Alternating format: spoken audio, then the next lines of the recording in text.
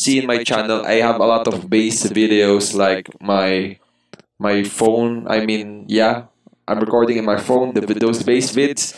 So for me, the DB Technologies doesn't give you a lot of bass.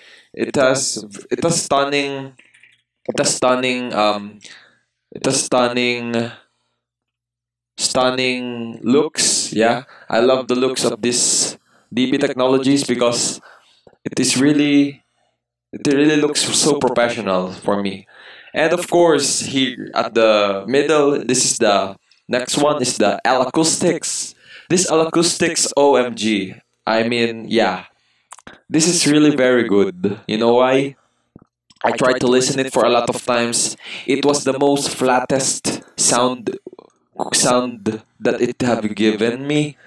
The L Acoustics is used in Hollywood Bowl and I was really shocked at its performance. It really sounded flat and the bass I, I hear it but I don't feel it that much. Maybe because they, they was using L Acoustics SB18, the single 18 inch subwoofer the flyable sub, but they just ground stack it. I re- I was really surprised with the quality of these acoustics. It's really so flat and very natural sounding. That is how line array should sound like. But I don't think the price of this was tolerable because the price of this acoustics is really that high that even I asked the exhibitors from the inside how much was it. They just gave me that. They told me that Oh no, I I don't. I think um, we cannot give the price here, but we can email it. Maybe because they see what am I? I don't know. But for me, L Acoustics is uh, big thumbs up. I really recommend that line array. And next is the Martin Audio. So the Martin Audio, it really gives a plenty of high, and it's really loud that you cannot really within you know this is 50 meters. It's you can still hear the the instruments like hissing like that and of course the sub um it's just fine. I'm not really surprised with the kind of sub that they use. And for the last is the d&b audiotechnik. Oh, nice one. This d&b audiotechnik is really very good. For me, I really love this system very good with their d&b audiotechnik subwoofer, the B22 model.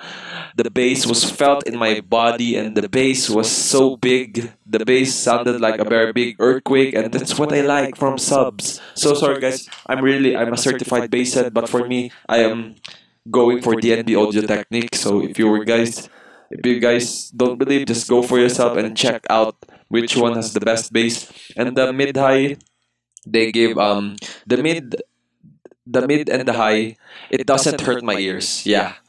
But the bass the bass is really very good in my ears that i don't want it the next line array to sound like that. And for our last is the adamson. So this adamson line array um I, I, I would give some very good comments in Adamson, yes. Their subwoofers rattled the cars from the parking lot. The, the parking lot, the, the cars and the parking lot sounded the alarm because maybe the bass is really loud and. But but I think the bass is um, not a little bit. Um, I was not satisfied because the bass was a little bit um, not good because I don't know. Maybe there are cancellations because there are a lot of line arrays, but there because there are a lot of subwoofers and the subwoofers were not stacked properly. They should be center stacked. There was a, a, little bit of spacing, but maybe because it's for the feedback cancellation things like that. Because the kick drum, they said this was feeding back with the sub, but it it can be manageable because it's it does. They were using a DSP digital signal processing system in their amplifier touring rack.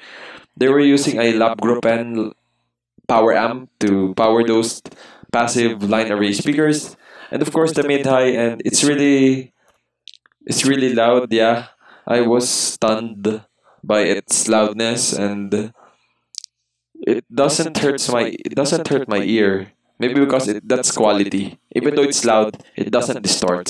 So guys, thank you for watching and hope you subscribe and leave a thumbs up or thumbs down if you're not and and comment down below if what is your suggestions and your thoughts about this line array speakers. But for me, the best line array is depends on your taste. But because I, I was a bass head, I would choose design array with with a very good sounding bass. But it, it all depends on what you like. And thank you guys for watching. Hope you subscribe and thank you for watching.